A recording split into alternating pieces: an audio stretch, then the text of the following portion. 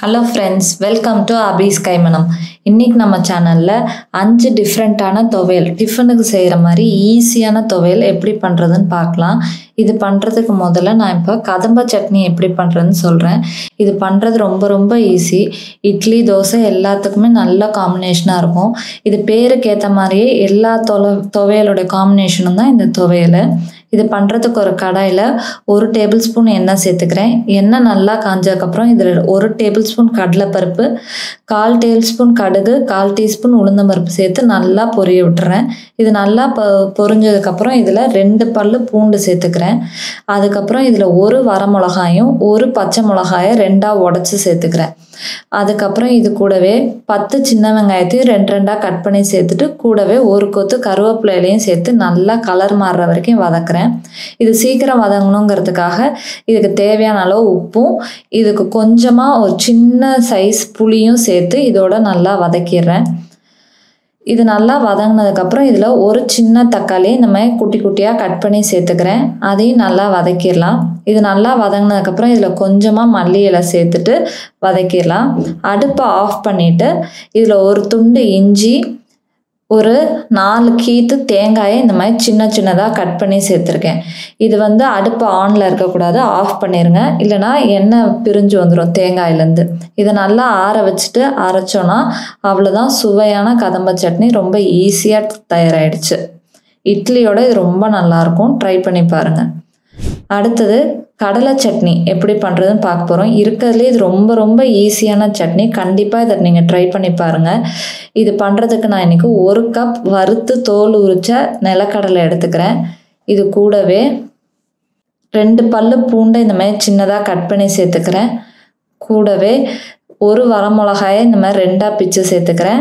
காரத்துக்கு ஏற்ற மாதிரி நீங்கள் அட்ஜஸ்ட் பண்ணிக்கோங்க. இதுக்கு தேவையான அளவு உப்பும் கொஞ்சமாக புளியும் சேர்த்துக்கிறேன். சேர்த்துட்டு இது நல்லா மையாக அரைச்சிடலாம். கொஞ்சமாக தண்ணி ஊற்றி நல்லா கலந்துட்டு அரைச்சிருங்க. இப்போ இதுக்கு ஒரு தாளிப்பு கொடுத்துடலாம்.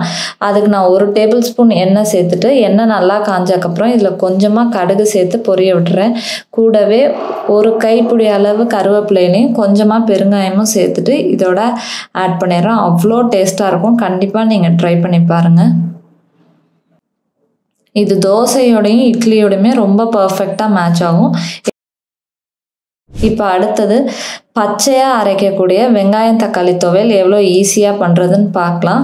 இது பண்ணுறதுக்கு முதல்ல ஒரு மிக்சி ஜாரில் ஒரு பெரிய வெங்காயத்தை இந்த மாதிரி சின்ன சின்னதாக கட் பண்ணி சேர்த்துக்கிறேன். கூடவே ஒரு தக்காளியும் இந்த மாதிரி சின்ன சின்னதாக கட் பண்ணி சேர்த்துக்கிறேன்.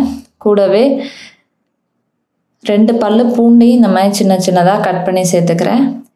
இப்போ இதோட மூணு வரமிளகா தேவையான அளவு உப்பு சின்ன சைஸ் புளி. ஏற்கனவே நம்ம தக்காளி சேர்த்துருக்கனால புளி ரொம்ப கம்மியாக சேர்த்துக்கோங்க. ரொம்ப புளிக்கும். சேர்த்துட்டு இதை நல்லா மைய அரைச்சிக்கலாம். தேவைப்பட்டால் கொஞ்சமாக தண்ணி சேர்த்து அரைங்க. இப்படி நல்லா பேஸ்ட்டாக வந்ததுக்கப்புறம் இது நம்ம வதக்கிடலாம். அதுக்கு ஒரு கடாயில் நான் ரெண்டு டேபிள் ஸ்பூன் நல்லெண்ணெய் சேர்த்துருக்கேன். எண்ணெய் நல்லா காஞ்சதுக்கப்புறம் இதில் கால் டீஸ்பூன் கடுகு கால் டீஸ்பூன் உளுந்தம்பருப்பு சேர்த்துக்கிறேன். இது நல்லா இப்போ பொரியட்டும். இது நல்லா பொரிஞ்சதுக்கப்புறம் இதில் ஒரு கொத்து கருவேப்பிலை இலையும் சேர்த்துக்கிறேன். கூடவே நம்ம அரைச்சி வச்சுருக்க இந்த பேஸ்ட்டையும் இதோட சேர்த்துடலாம். சேர்த்துட்டு இது நல்லா பச்சை வாசனை போகிற வரைக்கும் இது நல்லா வதக்கிடணும். எண்ணெய்லாம் அப்படியே பிரிஞ்சு வெளியில் வரணும். உங்களுக்கு தெரிக்கும் அப்படின்னு நினச்சிங்கன்னா இதை ஒரு மூடி போட்டு அடுப்பை சிம்மில் வச்சு கூட நீங்கள் வதக்கி விடலாம். ஆனால் குறைஞ்சது இது ஒரு ஏழு நிமிஷமாவது வதங்கணும். அப்போ தான் துவையலில் பச்சை வாசனையே இருக்காது.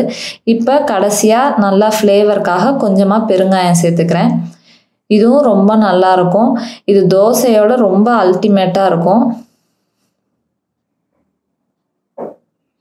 பாருங்கள் நல்லா கலர்லாம் மாறி அப்படியே ரெட்டிஷாக வந்துருச்சு. அவ்வளோதான் சூப்பரான நம்மளோட பச்சையான அரைச்ச துவையல். ரொம்பவே ஈஸியாக தயாராகிடுச்சு கண்டிப்பாக ட்ரை பண்ணி பாருங்கள் இப்போ அடுத்தது பூண்டு சட்னி. இது பண்ணுறது ரொம்ப ரொம்ப ஈஸி. அவ்வளோ டேஸ்ட்டாக இருக்கும். ரொம்ப ஸ்பைசியாக இருக்கும். இதை கலர்ஃபுல்லாக பார்க்கவே ரொம்ப நல்லாயிருக்கும். இது எப்படி பண்ணுறதுன்னு பார்க்கலாம். இது பண்ணுறதுக்கு முதல்ல ஒரு மிக்சி ஜாரில் ஒரு இருபது பல்லு பூண்டு சேர்த்துக்கிறேன். சேர்த்துட்டு இது கூடவே நான் நாலு வரமிளகா சேர்த்துக்கிறேன். வரமிளகாயை குறைச்சிடாதீங்க. குறைச்சிட்டிங்கன்னா பூண்டோடைய காரம் ரொம்ப அதிகமாயிரும். கூடவே கலருக்காக ரெண்டு காஷ்மீரி மிளகாயும் சேர்த்துக்கிறேன். கூடவே சின்ன எலுமிச்சம்பழம் சைஸ் புளியும் தேவையான அளவு உப்பும் சேர்த்துட்டு இதை நல்லா மைய அரைச்சிடலாம். தேவைப்பட்டால் கொஞ்சமாக தண்ணி ஊற்றி நல்லா நைஸாக அரைச்சிக்கலாம். இப்போ இதை தாளிச்சிடலாம். அதுக்கு ஒரு பேனில் ரெண்டு டேபிள் ஸ்பூன் நல்லெண்ணெய் சேர்த்துக்கிறேன். எண்ணெய் நல்லா காஞ்சதுக்கப்புறம் இதில் கால் டீஸ்பூன் கடுகை பொரிய விட்டுறேன். கூடவே தேவையான அளவு பெருங்காயத்தூளும் சேர்த்துக்கிறேன். சேர்த்துட்டு ஒரு கொத்து கருவேப்பிலை இலையும் கடைசியாக சேர்த்து இதை நல்லா பொரிய விட்டுட்டு இதில் ஊற்றிட வேண்டியதான் இது ஒரு வாரம் ஆனாலும் கெடாது. அவ்வளோ டேஸ்ட்டாக இருக்கும். ரொம்ப காரமாக இருக்கும். நீங்கள் தேவைப்பட்டால் சாப்பிடும்போது இன்னும் கொஞ்சம் நல்லெண்ணெய் சேர்த்துக்கலாம். இது அவ்வளோ டேஸ்ட்டாக இருக்கும். கண்டிப்பாக ட்ரை பண்ணி பாருங்கள் இப்போ அடுத்தது வெங்காயம் தக்காளியை வதக்கி எப்படி ஈஸியாக பண்ணுறதுன்னு பார்க்கலாம். இது பண்ணுறதுக்கு ஒரு கடாயில் முதல்ல ஒரு டேபிள் ஸ்பூன் கடலெண்ணெயை சேர்த்துக்கிறேன். எண்ணெய் நல்லா காஞ்சக்கப்புறம் இதில் கால் டீஸ்பூன் கடுகு கால் டீஸ்பூன் உளுந்தம்பருப்பு சேர்த்து நல்லா பொரிய விட்டுடலாம் இப்போ இதில் பதினஞ்சு சின்ன வெங்காயமும் ஒரு பெரிய வெங்காயத்தையும் இந்த மாதிரி சின்ன சின்னதாக கட் பண்ணி சேர்த்துக்கிறேன். சேர்த்துட்டு இதை நல்லா வதக்கிடலாம். இது ஈஸியாக வதங்கிறதுக்காக நான் தேவையான அளவும் உப்பும் கொஞ்சமாக புளியும் சேர்த்துக்கிறேன். புளி ரொம்ப சேர்த்துறாதீங்க இதுக்கு. கொஞ்சமாக சேருங்க. கூடவே மூணு வரமிளகாயும் இதோட சேர்த்துக்கிறேன். சேர்த்துட்டு இது நல்லா நிறம் மாறுற வரைக்கும் வதக்கிடலாம். இப்போ இது நல்லா வதங்கிடுச்சு. இப்போ இதில் ஒரு தக்காளியை இந்த மாதிரி சின்ன சின்னதாக கட் பண்ணி சேர்த்து வதக்கிடுறேன். இப்போ பாருங்கள் தக்காளியெல்லாம் நல்லா மசிஞ்சு வதங்கி வந்துருச்சு.